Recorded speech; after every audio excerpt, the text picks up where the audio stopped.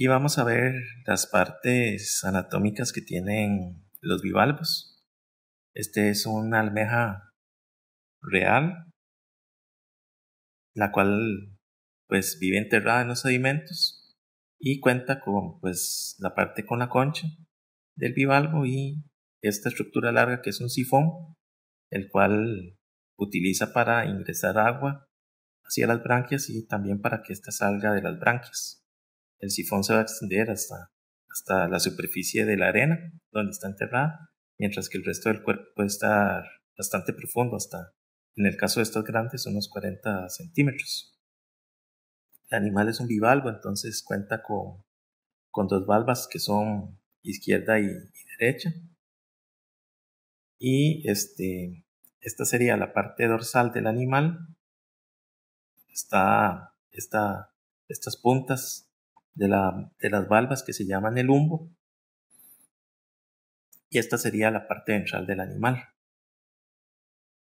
Las valvas van a estar hechas de carbonato de calcio y van a tener diferentes capas dependiendo del grupo, pero este, pueden tener una cobertura de proteína que se llama el periostrato, que es este recubrimiento que se ve acá, que se ha desprendido en parte de la concha y le sirve de protección un poco. Después, en varias conchas vamos a tener estrías que pueden tener diferentes patrones. A eso se le llama la escultura y va a variar entre las diferentes familias de bivalvos. En este caso es una almeja. Y por acá esta es la parte de la unión de, la, de las valvas. Si uno abre un, una almeja de este tipo.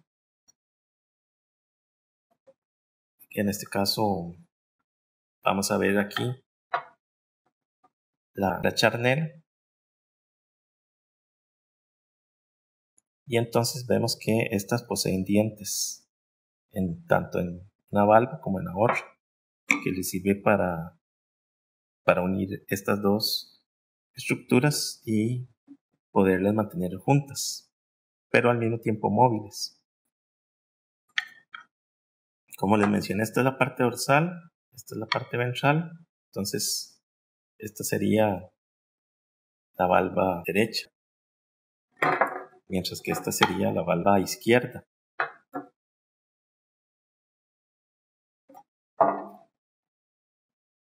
Si vemos la estructura interna del animal, va a tener un músculo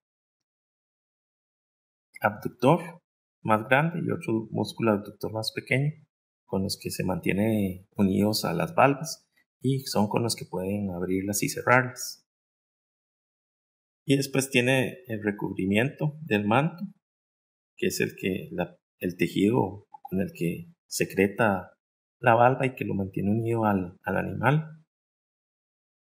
Y por acá vamos a ver otras estructuras internas. Esto sería el pie, que es la estructura con la que pueden enterrarse en el sedimento. Este pie es musculoso y pueden usarlo para excavar. Cuando están vivas, esto es móvil.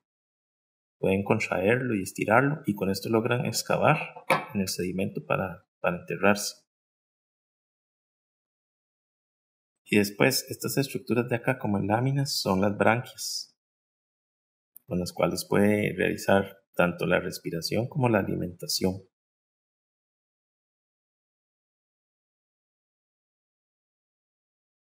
Debajo de las branquias ya va a estar el cuerpo del animal, donde van a estar guardados los diferentes órganos, el estómago, el corazón. Y las valvas por adentro pueden estar recubiertas o no de una capa que se llama nácar. En este caso no la tiene, sería solo la capa de carbonato calcio que sería porcelanizada. Aquí lo que tenemos es un, una almeja del género Periglipta, en el que en este ejemplo de, de valvas se nota bastante marcadas todas estas líneas que se llaman las costillas, que es la ornamentación. Eh, se piensa que este incremento en el grosor de las costillas hace que la concha se haga más resistente Después, como mencionamos con la disección de la, de la almeja que habíamos visto, estas tienen pues dos valvas y la parte de unión de las valvas se le conoce como donde estaría la articulación. Y ahí puede haber un ligamento y está la charnela y esta parte superior de las valvas se llama el humbo. Entonces, si abrimos pues estas valvas donde ya no hay molusco, podemos ver diferentes marcas. Bueno, esto es todo lo que sería la parte de la charnela que tiene los diferentes dientes, que en, e, que en este tipo de almejas están muy marcados. Hay unos dientes laterales y otros dientes que se llaman cardinales. Y este, los de un lado casi van a tener su contraparte en la otra valva, entonces van a encajar. Eh, por la forma de estos dientes se puede hacer también clasificación de, ciertas especies.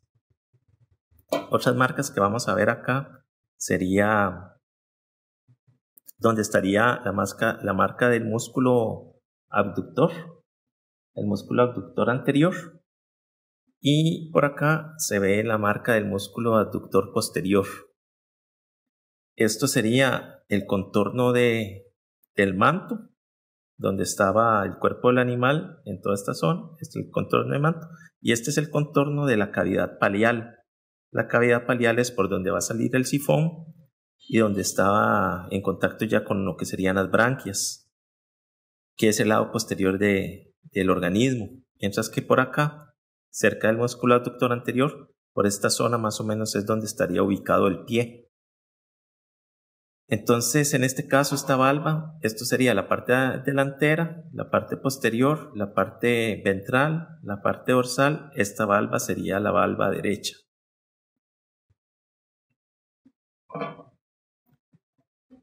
Mientras que en esta otra vamos a tener que es la valva izquierda. Porque eh, esta sería la parte delantera del animal, baja, dorsal, posterior. La cavidad palial siempre en la parte posterior. La marca la cavidad palial en la parte posterior.